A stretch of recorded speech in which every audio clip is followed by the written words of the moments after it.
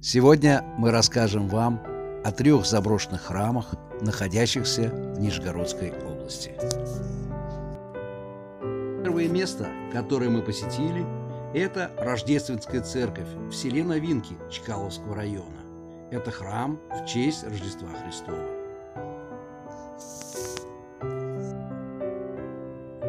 Он был построен в 1828 году, был закрыт в 1936 году. Богослужения были прекращены. До начала 60-х годов внутри храма все сохранялось в целости. Иконы, иконостас, священные предметы. Церковь была за заперта. Ключ от нее находился у одного из жителей новинок. Однако в 60-е годы многие храмы были разграблены. И церковь Рождества Христова не избежала этой печальной участи. Иконы и прочая церковная утварь были украдены и пропали бесследно. Храм опустел. Предпринимались попытки сбора средств на восстановление храма, но безуспешно. Церковь является объектом историко-культурного наследия.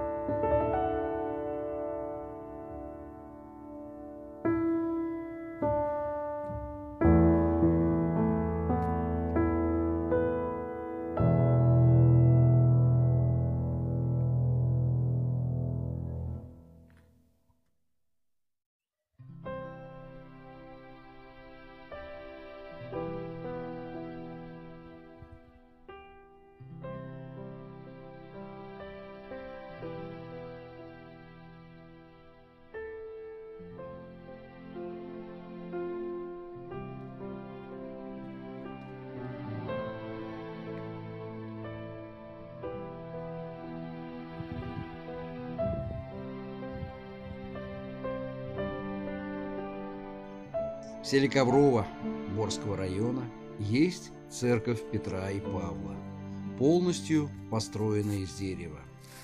Дата ее постройки считается 1785 год.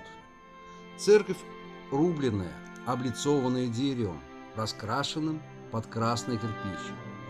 Резная колокольня когда-то была очень красива. Внутри храма сохранились роспись стен. Состояние церкви крайне аварийное и ухудшается с каждым годом. Церковь может обрушиться в любой момент.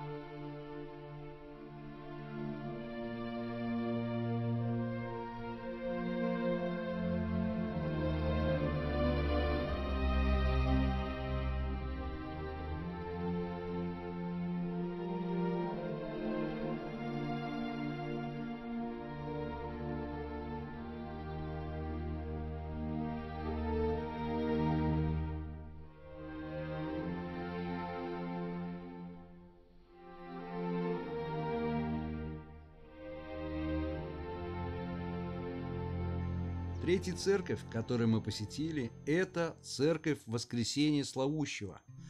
Она находится в селе Веридеево Кстовского района и является памятником городостроительства и архитектуры. Эта кирпичная церковь с декором в стиле классицизма построена в 1814 году. Она была закрыта в 30-х годах. Пустует. Главы утрачены. Еще недавно у церкви был купол, но теперь все обвалилось, остались только стены. Из истории церкви это был каменный трехпрестольный храм. При храме работала земская школа, где обучались мальчики. После закрытия церковь долгое время использовалась как склад. В настоящее время она заброшена.